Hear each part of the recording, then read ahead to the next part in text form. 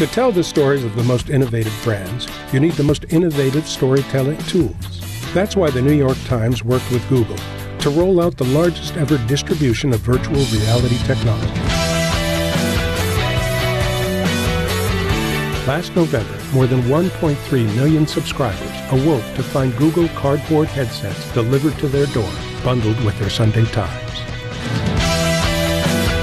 By tapping into the power of NYTVR, the most quickly adopted app ever launched by the Times, readers were immersed in breathtaking new worlds.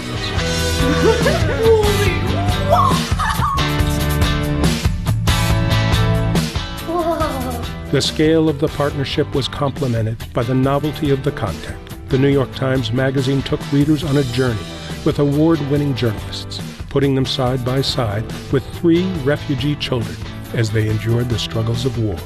The launch was made possible by two advertising partners who debuted their own 360 videos. In two live action shorts from Mini, viewers found themselves behind the wheel and on the edge of their seats to experience an action packed drama.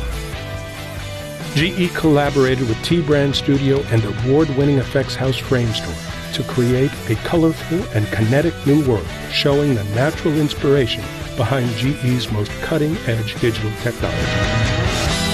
With all elements combined, the response was astounding. Thanks to an unprecedented alignment of brands, Google, GE, and Mini, the New York Times placed this new medium within a long tradition of boundary breaking storytelling, leading the way for mainstream VR.